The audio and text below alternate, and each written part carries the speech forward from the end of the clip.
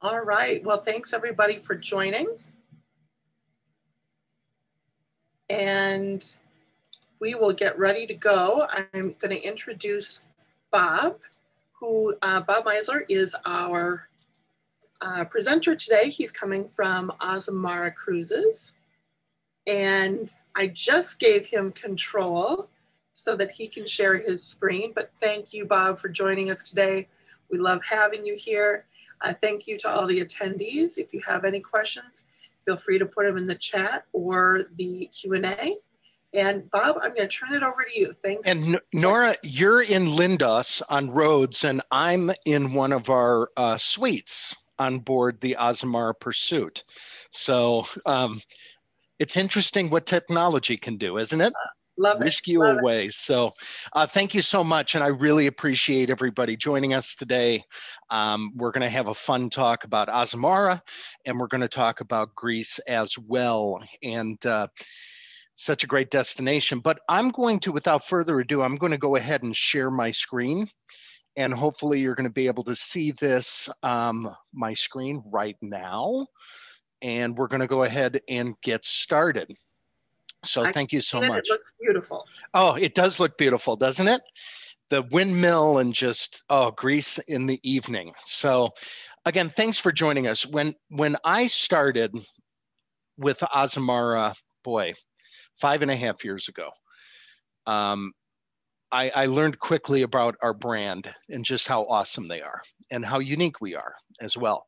And even though you might not have ever heard of Azamara, that's what I'm here for today. So I look forward to welcoming you to uh, not only Greece, but our brand. So the first time I went to Greece was two, two weeks after I started at Azamara. My director called me and said, I'm sending you to Greece because I want you to learn about it and you can come back and talk about it. I had never been but I had books and magazines throughout my entire childhood looking at those pictures of Greece and dreaming, seeing those whitewashed buildings, right? And that caldera right there. And there's one of our ships in the caldera. And it was my dream to go into Ia, which is in Santorini, and go up and sit at a taverna and have some local food, local beer called Mythos, and be able to sit and watch the Santorini sunset because there's nothing like a Santorini sunset. So I'm going to tell you a little bit more about this story a little bit later, but it's definitely going to highlight what Azamara is, who we are, and how we're different, which you're probably wondering about today as well. And Nora, always feel free to chime in. And I will say that I like being interactive. So I might have you use the chat function a couple times today, um, just because um, I have a couple of little photos that I want to show. I want to see if uh, you recognize these items. But just to jump in straight away, uh, we're going to start with this. This is Cruise with Confidence and something we're very proud of at Azamara because you have new benefits, more flexibility, and up to 48 up to 48 hours before you sail. So you're going to get the best price, the best offer, and a future cruise credit of 100%. So this is like you have the confidence to be able to book Azamara knowing that you're going to be able to take advantage of this. And uh, this is starting February, it started February 1st and it goes through April 30th. These are three beautiful ships right now in Glasgow, in Scotland. And you might be asking, why Glasgow? Well, when the pandemic started, we had to take our ship somewhere to sit until we're ready to get back to sailing.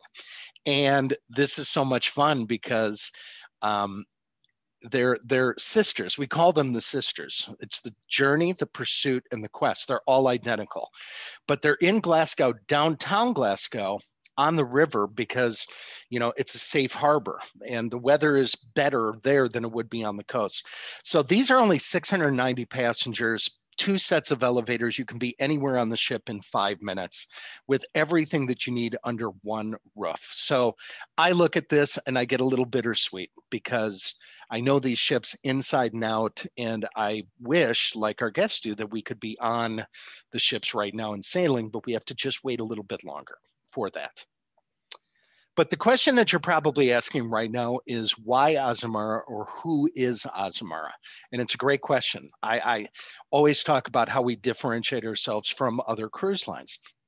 And we differentiate ourselves by staying longer in port than any other cruise line. So we're really about the destination and destination immersion. So if somebody were to ask you, you know, when you cruise, would you like to stay longer in port? I think your answer would be yes. So that Santorini sunset, uh, tapas after hours in Barcelona, maybe the Singapore night market in Singapore, being able to explore and take your time and stay longer in port, sometimes until 10, 11 o'clock, when the other ships leave at about five or six o'clock. So it's very important because we're just so dedicated to the destination. Um, so you'll fall in love with the time in port and the time to explore at your own pace. But when you get back onto the ship, boy, you are going to enjoy this upmarket experience. So again, uh, 690 passengers and about 408 crew members, which is a great ratio because you're so well taken care of. And we have some great amenities as well, which we'll talk about further um, here in a little bit. But we like to say welcome home. And that is my very good friend, Captain Carl and uh, Ryszard up in the upper photo, welcoming some people on board we're small and you're going to you're going to love that because our crew from the top down take care of you. And our crew is genuine. They love what they do and it shows. And you're going to have lifelong like memories of people who will remember crew members even the captain will remember your name where you like to sit what you like to drink, etc. So it's definitely a very home feeling. We like to call them our boutique hotels at sea. Only 690 passengers, slow cruising, and even though we're upmarket slash luxury, we're very not pretentious. So we want you to enjoy yourself and relax.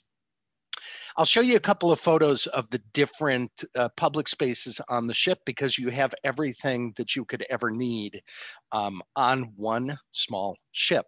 This is one of my favorite spots. This is our, uh, what we call the living room and I congregate here nightly, sometimes during the day.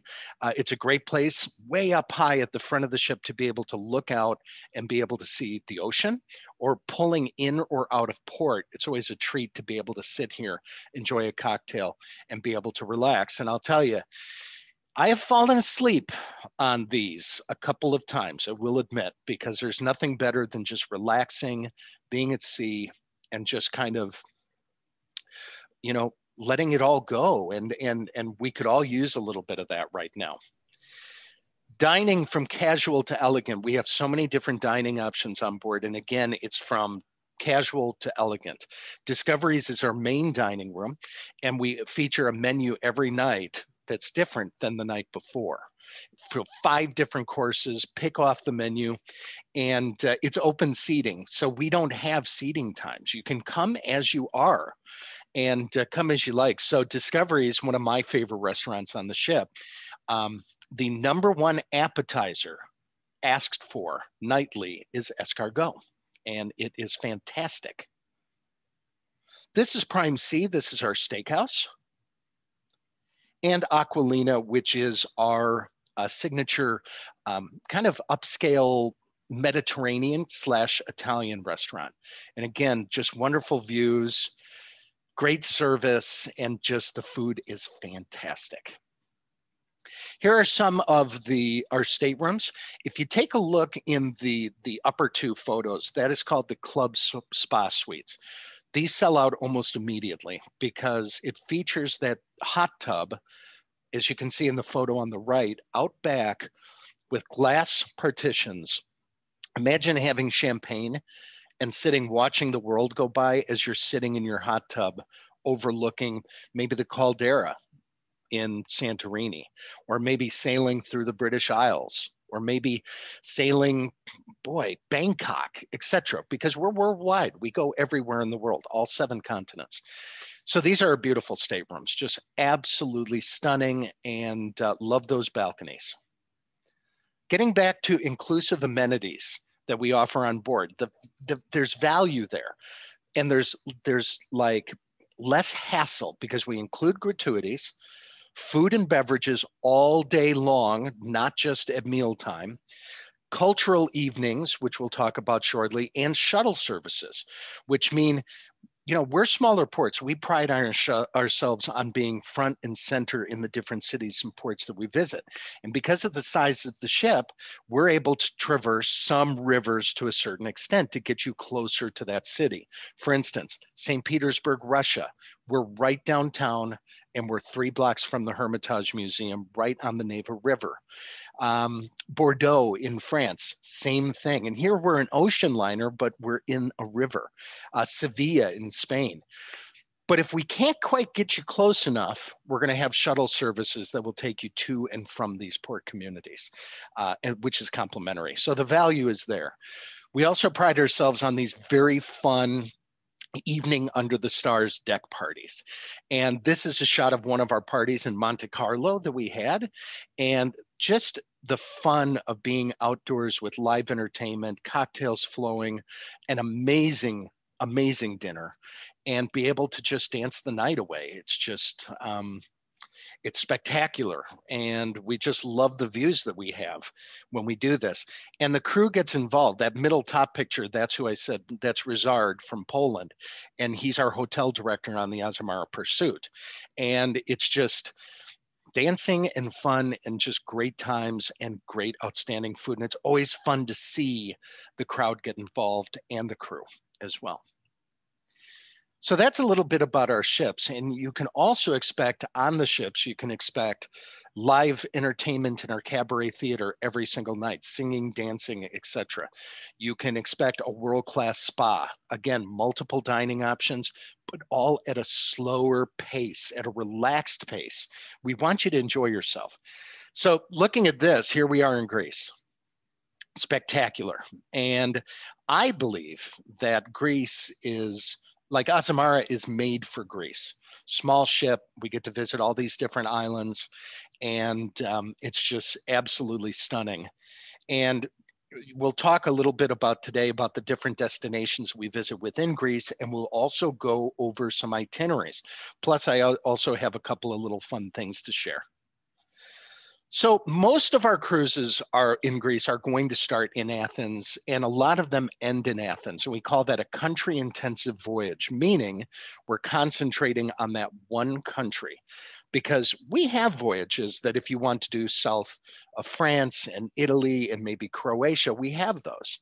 But there we have countries all around the world that we just concentrate and dock at ports within that country.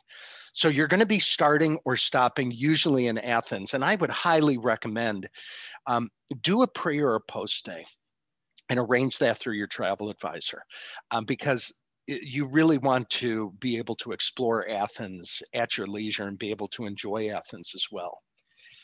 But getting back to Santorini, so the the remainder of the story is um, every I got onto the ship and I was greeted with a glass of champagne and that welcome home message because we have such a following of repeat passengers that they know everybody. They they it's again it's welcome home. And I was offered the opportunity, of course, like I said, to go to Santorini. And every morning when I would wake up, I would jump out of bed, open the blinds or the drapes, and there is a different island maybe Santorini, Mykonos, Rhodes, etc. It blew me away. The pictures that I grew up looking at didn't do it justice because it is so beautiful. So I got my dream. So I went to Santorini, got off the ship, went to, did some touring, went to a winery, believe it or not, a winery on Santorini, and then ended up in Oia at a taverna, just like I wanted to do. I ordered grilled octopus, a mythos beer, some great olives and bread. And I sat there looking down at the caldera, and it was just about sunset. Our ship was there, and there were two other company ships in the caldera, so a total of three ships. Right before the sunset, about a half hour before, the other two ships left and they sailed away. So we were the only ship in the caldera in Santorini right before sunset. That means that the other folks had to rush see Santorini, you know, fight, you know, get on the funicular with crowds to go down to get back onto the ship and they had to rush. We stay in Santorini 10 o'clock, sometimes 11 o'clock at night. So just imagine that feeling of ownership that you would have on Azamara after all the tourists left and you are there enjoying yourself and enjoying that that that experience that you've always looked forward to. And that's what we pride ourselves on. And that's what I really clicked with me when I came home and remembering how we stay longer important, how just important that is to the experiential traveler. So I'd like to be there right now, to be honest with you. So I'm going to ask a question. You can use the chat function. What is this local drink that they have? Kind of tastes like licorice that they have in Greece. And of course, when you take a little drink of it, you're going to say, Opa, of course. So, what is this? What is this wonderful drink? And uh, I'm going to see if I can open up the chat box.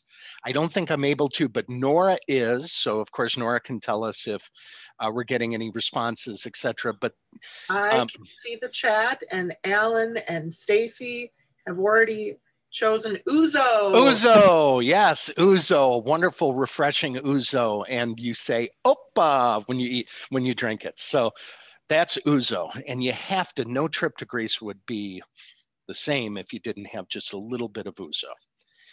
Patmos became one of my favorite islands. I didn't know anything about it but it has a very biblical history, believe it or not, um, and is one of those islands that's getting more recognition now because you normally think of Santorini Mykonos, but now you're throwing in other islands like Patmos, like Rhodes, etc. You will love Patmos and the history and the monastery at the top of the hill or mountain overlooking the entire island. So great rich history. And again, for history lovers, you can't do better than Greece. It's just there's something new in ruins around every corner. Heraklion, another great port. Rhodes, and Nora and I were talking about our love for Rhodes uh, earlier. You know, the main town, which is Lindos, is great to visit and it has a great market. I'm always looking for markets and restaurants, and it has great stuff. But you have to get out of town and really explore the rest of the islands because Nora's background at the beginning that is on Rhodes, those ruins. So really cool just opportunity to visit a road less traveled. I would recommend in Rhodes to hire a private driver or something like that and take a tour and go tour the island because it's beautiful and full of history. Lindos is where and Rhodes is where the Colossus stood in ancient times, welcoming everybody into port and scaring the bad guys away. But unfortunately, the Colossus is not there anymore because it burnt down like a long time ago. We do visit Turkey as well, and we go to Kusadasi because if anybody has wanted a history, another great history lesson, it's to visit Ephesus. So Kusadasi is another stop that we visit. Mykonos. I can't say more about Mykonos. When you visit Mykonos, and that's one of our ships, I love immediately going down to like literally right on the water and finding a taverna right on the water. You can almost put your feet in the water. At night, again, a great sunset. Mykonos is known for those amazing windmills. I'm going to check my time. Look like we're doing pretty good. Here's another trivia question. Please use the chat box. This is a fried cheese that you can find at a lot of restaurants. And they go ahead, they flambe it, and they say upa when they serve it to you. What is the name of this iconic fried cheese dish um, from Greece? And you get a gold star if you know the answer to this. Well, I'm going to tell you, it's saganaki. So that is saganaki, and Oh, star for Stacy. She knew it was Saganaki. Did she? Okay, perfect. Sa- uh, Sa- uh, Stacy, congrats. Saganaki, nothing better, um, and just so tasty. So amazing. Now we're going to move on to itineraries, just to show you some of our upcom- um, upcoming itineraries, and this is just a handful of them to show you what they look like. Now, yes, this one has Venice in it, but this is a 10 night, September 27th of 22. So uh, next year in September. And as you can see, we're doing all of these iconic islands that we just talked about. Plus, we're doing some other areas that a lot of people might not think about.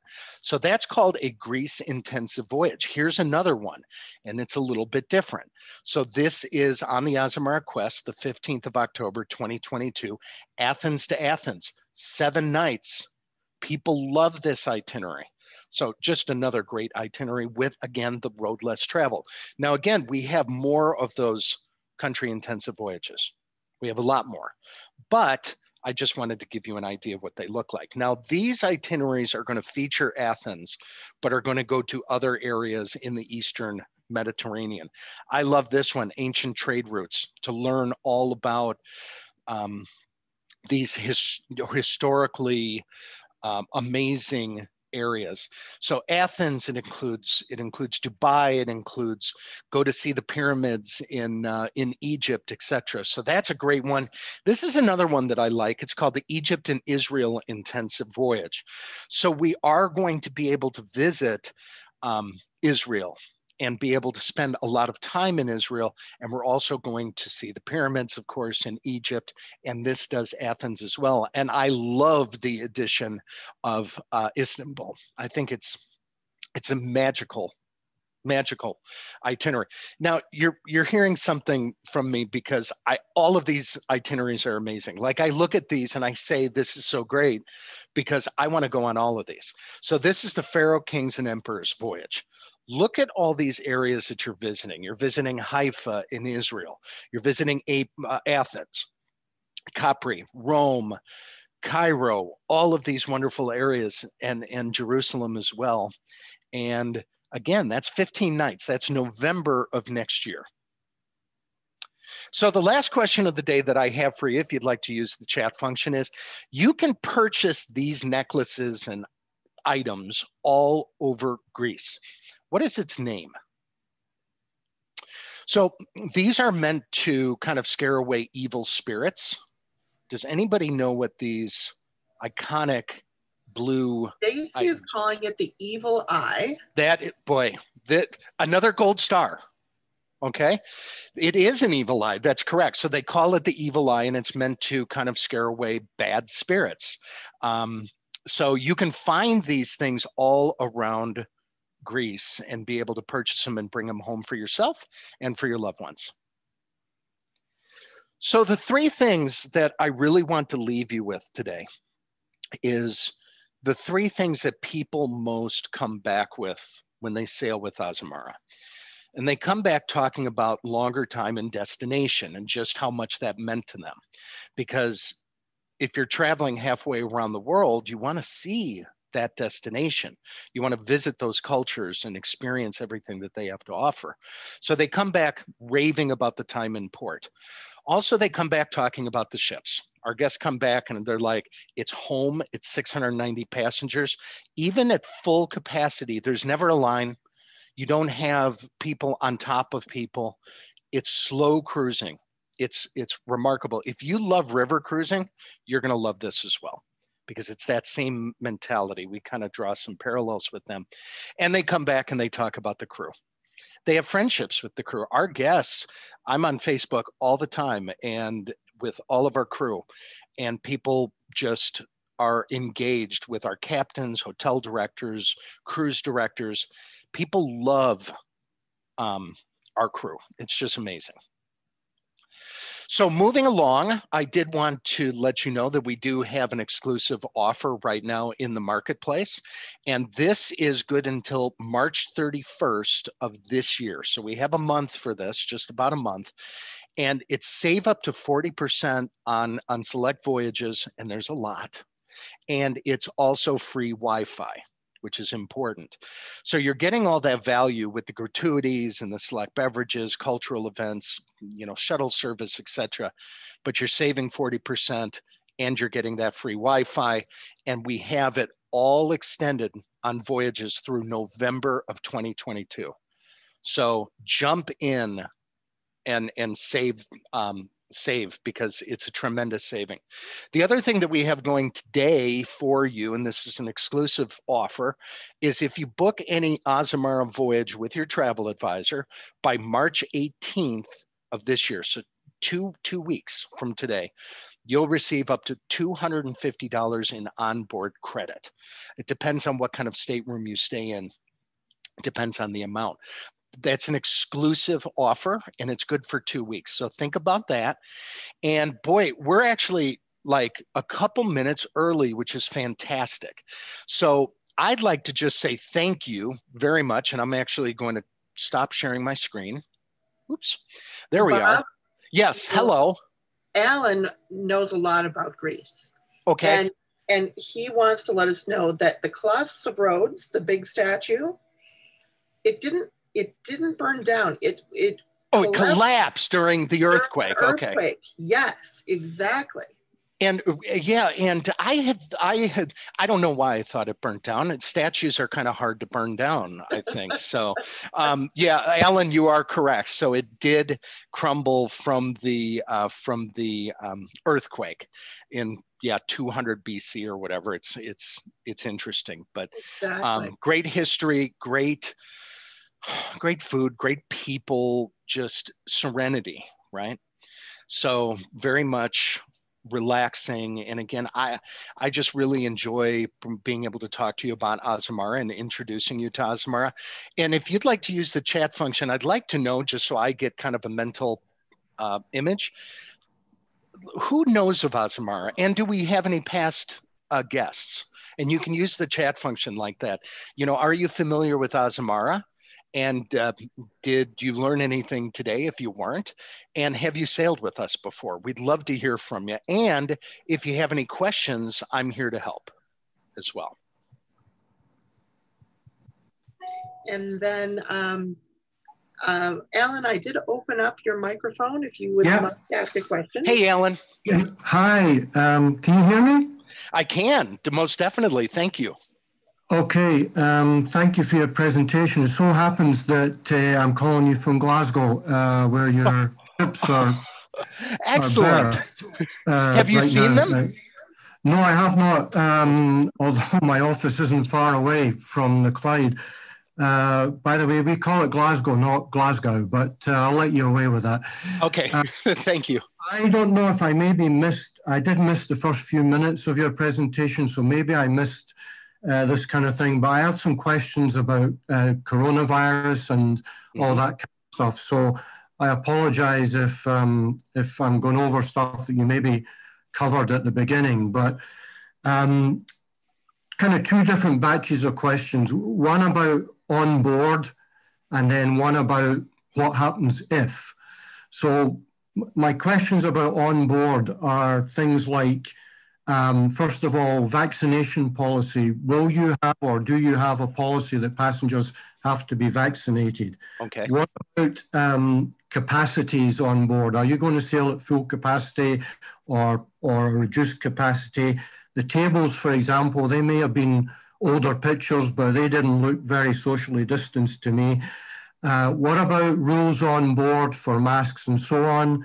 And in particular, trying to convince my wife to go on a cruise in the near future is extremely difficult. Mm-hmm. I'm an experienced cruiser. Yes, I've been in the Greek islands. I haven't been with you. But the difficulty we see is you can have all the rules in the world and take all the precautions that you like, and hopefully you'll come back to me about some of the points I raised. Mm-hmm. But my experience and our experience is the crews on ships are very, very reluctant to enforce rules because they don't want to upset the passengers. And so my question is, if you have rules about masks and so on, how are you going to enforce them? So that's one batch of kind of questions. My second thing, I'll give you a chance to think of your answers to that, is what about if there is an outbreak on board? Now, we saw last year ships were all over the place, stuck out in the ocean, so on and so forth for a long period of time. All sorts of calamities happened. Do you, in particular, as a cruise line, have uh, some kind of um, plan in place that if the worst happened and there was an outbreak on board, that you would be able to get back to, let's say it was Athens you embarked from, mm-hmm. we would be able to get back there, disembark people, and help us to get home because it's not going to be an ATOL bonded deal where you have to get us home. So, how would you take care of that? So, sorry for all those questions, but these are very real concerns. No, these are and these are very good questions as well. So I I appreciate it, and it's something that's on all of our minds, Alan. So here's the long and short of it. Um, the long and short, it might not be the answer that we're all looking for, but protocols. We're we're part of the Royal Caribbean group right now. So Royal Caribbean. Royal Caribbean, I'm familiar with, very familiar. Yes. With. So they they they take this very seriously. We take this very seriously. So I can't speak to a director level or an executive level, but we don't have our specific, just like a lot of cruise lines don't, because we're dependent upon the CDC. We don't have those protocols in place. We're working on them. It's called Healthy Return to Sail, where we brought in medical experts from all around the country to work on this, to work on protocols. Like, what is it going to look like? We don't know. We can speculate, partitions on ships, the mask mandates, um, even things like going into port when you get to a country, are, are they going to allow um, certain amounts of people off the ship or everybody off the ship? Are we going to go at half capacity compared to full capacity um, on the ship? 690 passengers, so half would be, you know, three 340-ish um, we don't know we just that's that's where we're at we just don't have the answers even the vaccination question um, that is something that's important but we don't know what that looks like yet. So as we're navigating this we we're suspended now through i think we're suspended through june of this year um, meaning we're back in july. And you know it's it's rough to have to do that but we're following what all the cruise lines are doing. Um, but the protocols are not in place yet. And because we're in an ever-changing world what what we might decide on today is going to change tomorrow. So i think we need to wait a little bit when it comes to the protocols. And it comes to that I wish I could convince your wife right now to book and to sail, but I can't unfortunately explain what it's going to look like on the ship. Um, your other question about like when we're out, if something does, like if there's an outbreak, I can guarantee you, Royal and Azamara and everybody is working on that and thinking about what that's going to look like. Um, but again, we just don't have the protocols of what's going to happen in the event. But I can guarantee you they're thinking about it and they're working on it. It's very important, but we just don't have the answers yet. And we're all kind of in the same boat as cruise lines. We're kind of looking at each other. Now, I can give you two good, like, good news stories with Royal Caribbean. So, number one is Royal had that, they did, I think, two voyages out of Singapore and they just went. It was a couple of days. They stayed at sea, and it was only for people from Singapore. It went off awesome, great. Now they are doing one in Israel where they're going to leave from Haifa, go out for a couple of days in the Mediterranean, and then go back to Israel. So they're kind of, I think, testing the waters. I know that's cliche, but in a pun, but we just were we're just waiting at this point. I would love to convince you and your wife, let's get back out there, but I don't have specific answers, unfortunately, of what it's going to look like when we get back. But I wish I could help more. And, and I can speak to just the industry in general because, you know, Bob knows his company and his parent company and everything. Um, the other cruise lines are talking about having a vaccine requirement. Okay. So it's very possible that others will follow suit. We just haven't seen it yet. The situation is just so fluid and changing, and it depends on the destinations that the, the cruise ships are going. Um, so, I, I guess to add to Bob's point, we don't know a lot yet. We know that there's a lot of people working on this um, because everybody wants you to return to cruise safely. Um, it's just honestly going to be a few months before we see what it really looks like. But you make a really good point about how things Absolutely. are going to be. Um, Nora, um, um, Bob, if you if you don't mind, uh, I, I don't want to hog too much time, uh, but Bob touched on one particular point that is it's absolutely critical to me and certainly us, which is what happens when you you go to port, because I'm one of these people that does not want to go on an organized tour. Okay. I don't need an organized tour. When I was on Mykonos, I went on the local bus. We went on a little boat roundabout. We're quite, we really want to do that. We do not want to go in an organized group. Now, if except okay st petersburg in russia yeah you have to go on an organized trip. But anywhere else we don't want to do that. So we really would want a, a guarantee that when we got to the ports we're going to be able to go and do our own thing. Otherwise for us it's not the same experience.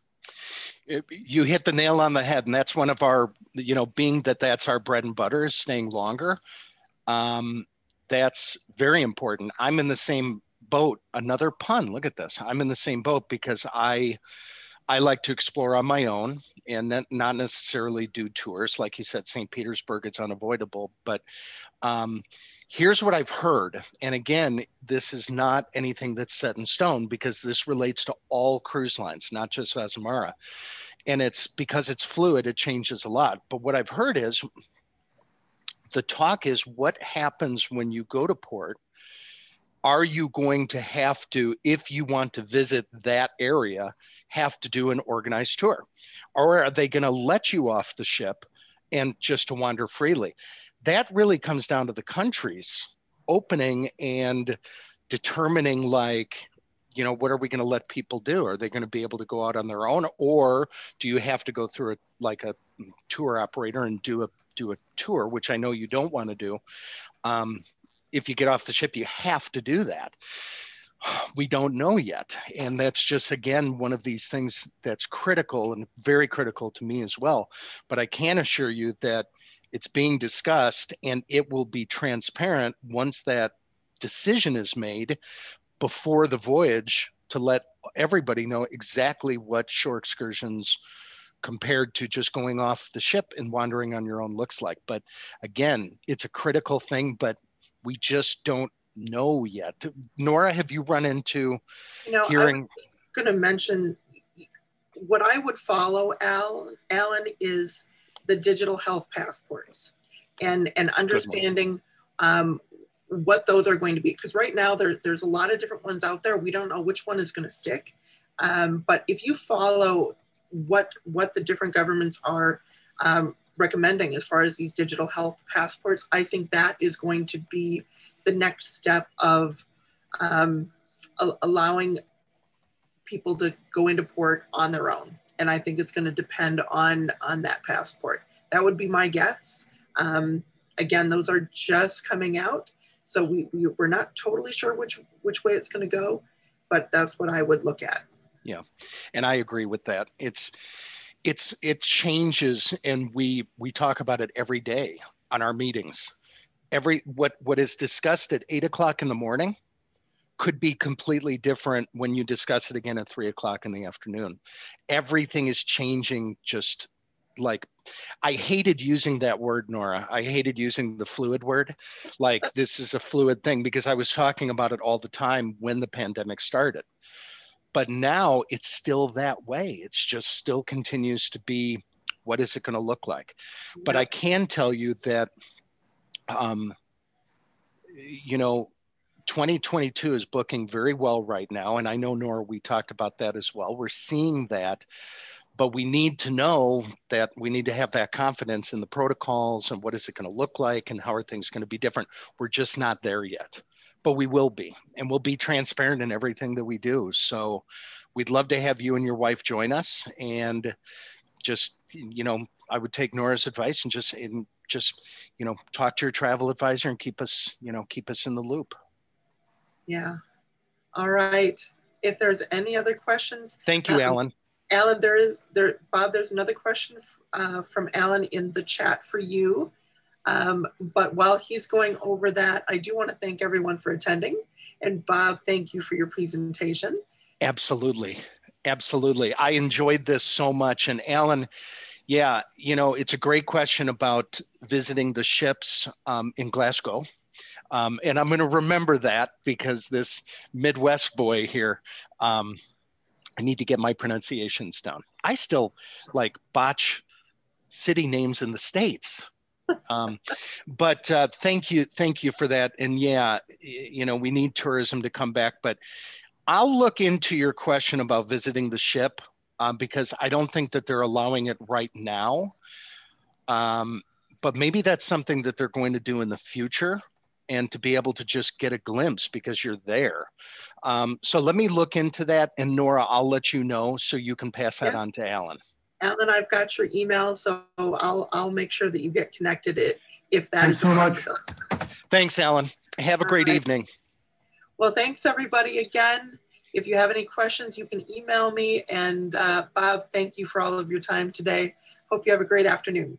Absolutely. Bye, everybody. Thank you so much. Take care. Bye bye. Bye bye. Be well.